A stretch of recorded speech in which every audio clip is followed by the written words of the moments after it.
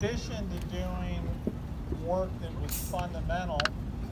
um, to our understanding of human biology, um, I also want to point out that our Arden actually probably is responsible